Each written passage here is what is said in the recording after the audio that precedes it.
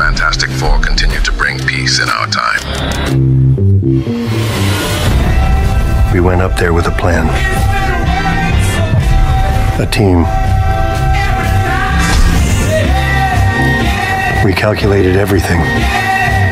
But our mistake was trusting Baxter. And everything went wrong from there.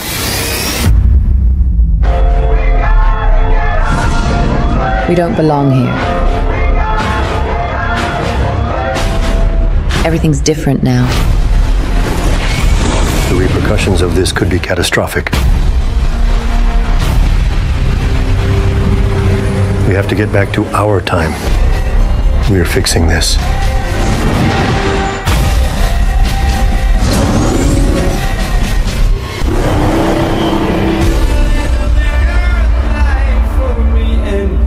You four think you have it all figured out.